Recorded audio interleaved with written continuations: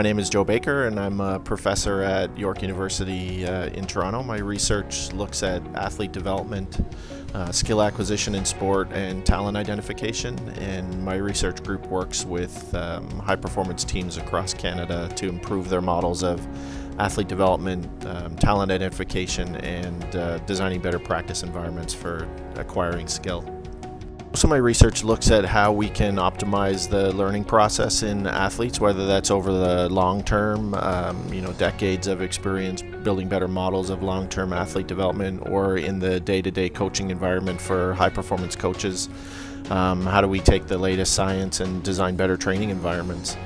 This research project looks at biases in the high performance sports system, and so that's a question that affects everyone at every level. And so, um, what we're trying to do is just acknowledge that there's not a level playing field for everyone involved in sport, and then once we do that, we can look at the size of the effects and the size of the inequalities, and then try to inform policy to, to, to try to help mitigate that. Uh, so I think that's the goal of this research is to provide a baseline for improvement and then once we have that baseline well then it's up to the policymakers and the uh, the sport administrators to try to develop better policy to help inform those uh, limitations.